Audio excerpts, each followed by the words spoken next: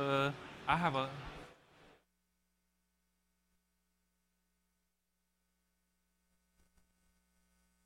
This. Okay. Good afternoon, everyone. My name is Xingchao Yu. I'm the director of UnitedStack. I'm also the co-reviewer in the Puppet OpenStack community. I participated into OpenStack in, in 2011 uh, with the Diablo release.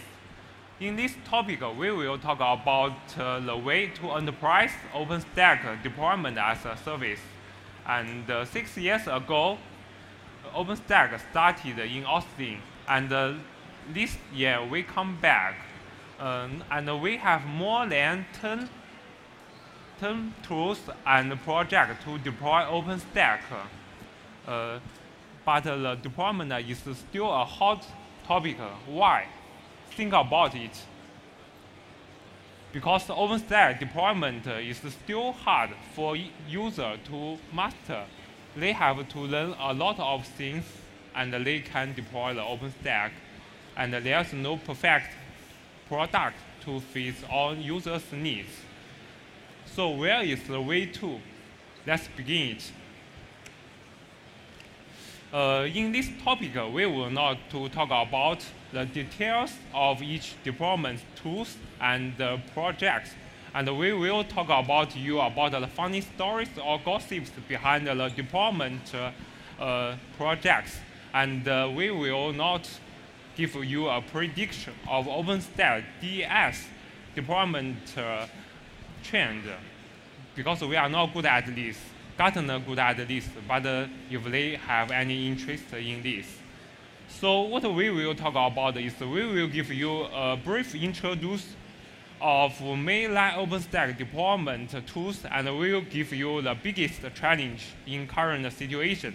And then we will discuss about delivering a, a enterprise OpenStack deployment uh, service. And last, we will introduce our US installer, which codename is C task. So first, uh, let's begin with uh, the OpenStack deployment of his history. As, as we know, there are so many tools can deploy OpenStack. Where are they from? Um, uh, there are some very popular tools, uh, such as uh, config, config management uh, tools, which start to uh, which start to support OpenStack deployment, such as Puppet, Chef, and Ansible. This project is really, really good to deploy OpenStack in production and provide a, a flexible way for users who is complex OpenStack architecture, but they are not friendly to user. And uh, they are complicated and hard to master. You need to learn Ansible, Chef, and Puppet, uh, and you also need to learn Shell, Python, and Ruby.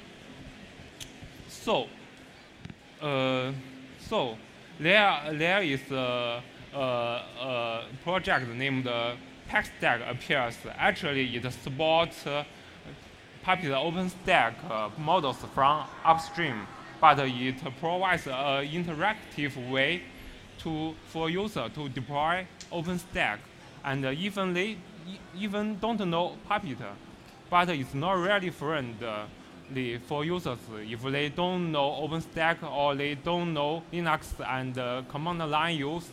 So uh, learn some deployment tools and uh, based on web console appears, such as Fuel and uh, Juju. For example, Fuel also uses Puppet OpenStack modules uh, from upstream, but it has a web console and uh, which which codename is Nailgun. They hide the complexity of deployment process and it's more easier for users to deploy OpenStack.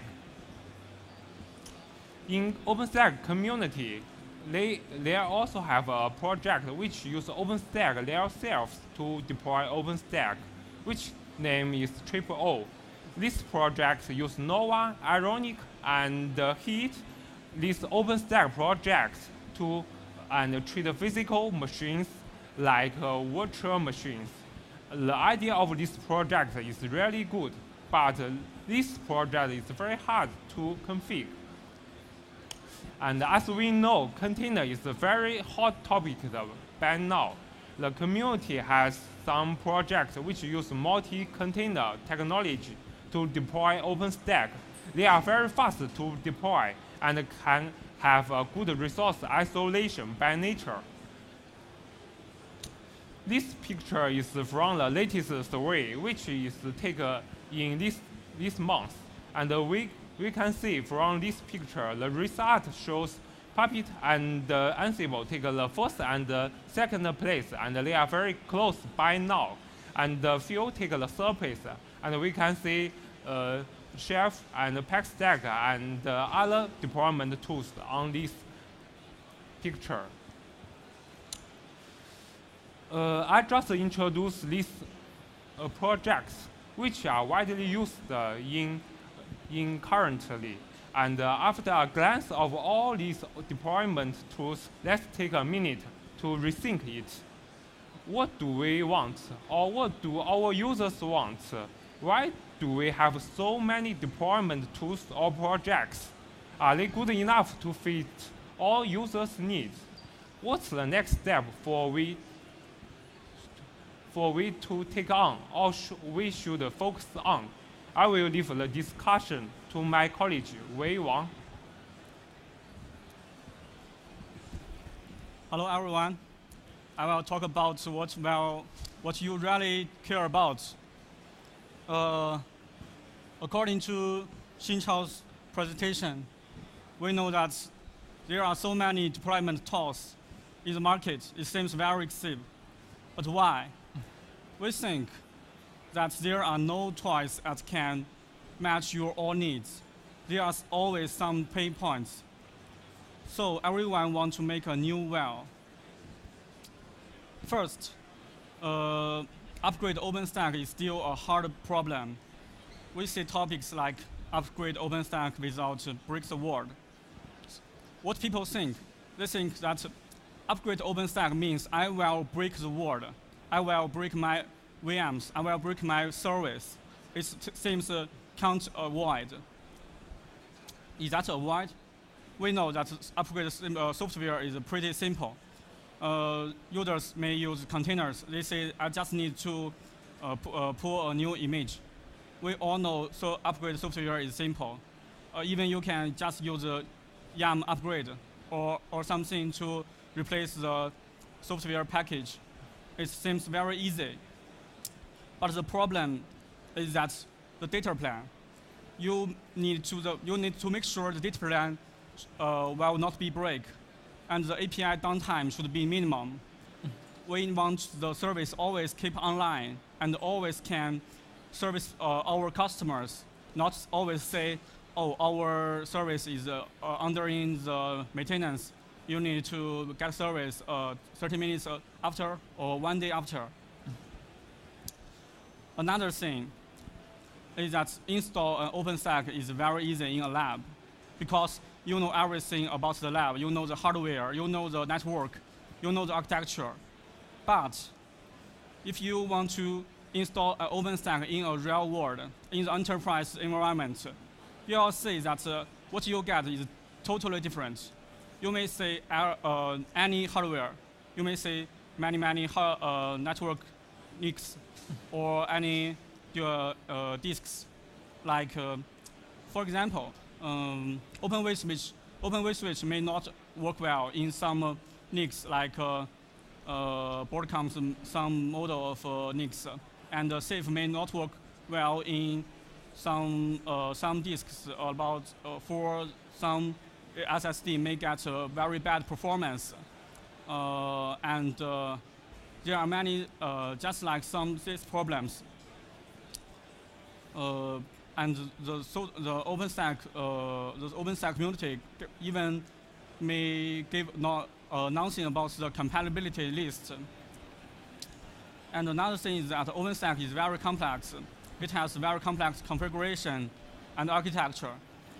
I have just uh, picked a picture from the OpenStack, uh, OpenStack uh, website It's just like this. I don't want to talk about this uh, picture. I don't want to show that every component takes some, uh, some efforts or what it means. I just want to show you that OpenStack is very complex, but uh, no customer wants to get this complex by themselves. They want to use solve the complex and the architecture. And they may have many, many needs. Some, some customer may want to uh, use Sahara, but we, they don't like the heat on the dashboard. They just want to use this, uh, use Sahara, but no uh, heat in the, in dashboard to uh, write the template or something. And since the hyper converged, converged is a new trend, so you may add the storage service in your computer node. So you need to add some uh, SSD in your computer node, or even some H H HDD in computer node, or even mix them. That's all the challenges that architecture or our development uh, developer, develop, uh, deployment uh, engineers can't handle this complexity. Last but not least, uh, workflow may not work. We all want a tool that we all need is some clicks. Just start and uh, see that the log is flash, and then we get end. The OpenStack deployment is already done. But uh, in the real world, you may not very, uh, you may not get a very automated process, since uh, you may face many many problems. Just as I, listed, that the hardware the hardware compatibility, or the network is uh, has some problem. But in, when you face some problem, what you want is just uh, I want to uh, solve these problems by myself. I can use my tricks or some experience. But when I make the problems done, I want to continue to bank the workflow to make the deployment tools work, uh, work just uh, uh, continue my the previous work. But for now, there are no tools can do this. So, uh, what's our answers?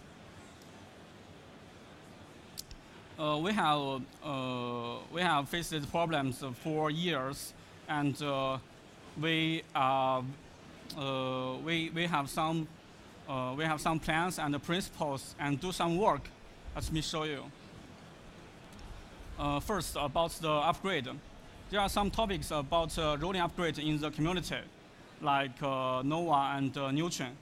I have just seen a topic uh, named uh, Neutron Liberty Upgrade uh, yesterday, and the community has done some uh, pretty uh, wonderful work in the rolling upgrades, like uh, also Oslo version uh, project means uh, o networking OVO, and uh, like L2 agent restart. We have seen some patches in, about the L2 agent restart, which is OVS agent. community has do some work because this this thing cannot handled by uh, deployment tools only. We need both work from the community and the deployment tools. Another thing is sanity test. Before the installation, we need to do some compatibility test and benchmark performance test. Since Ceph need a very perf high performance disk, we need to make sure that the hardware is, uh, is good enough to make our software run. The other thing, architecture we know that architecture is uh, complex, that even you can't write or you can't get the architecture in uh, just a web console or in a GUI. But we have some powerful tools like YAML. We use YAML in Puppet, and uh, maybe use YAML in everywhere. Uh, we can provide some editable templates. You can use the template. We have some, well, uh, template uh, scenarios, but the templates can edit again, and uh, the deployment is modular. You can just deploy some model that you want, or you can just mix these deployments as you want. Last uh, is about uh, inspection tools. We have developed some uh, inspection tools and scripts. there is a video to show that how it's how it's like. 我们每周都会有新项目上线或 POC，但是大量的时间花在了检查和运维上。然而，部署时很多问题和流程并没有直接相关，比如 VLAN 配置错误，Floating IP 网关没有起，用于 VXLAN 隧道通信的 Endpoint IP 配置错误，由于光纤质量问题引起的跨机柜通信异常等等。我们在这些运维和实施上耗费了大量的时间，苦不堪言。这这是 STIS 开发的初衷。企业级软件应该能够自己在运行前确定环境是否正常，实现运维的自动化。STIS 能够迅速抓包分析数据包路径，定位问题所在。对于生产锐境，我们可能会被虚拟网络连通性问题所困扰，STIS 能够在虚拟设备上发包，模拟问题现场。对比以前其他的监控工具，STIS 能够快速诊断故障原因，弥补了其他工具的不足。这。将让我以后的工作更加高效。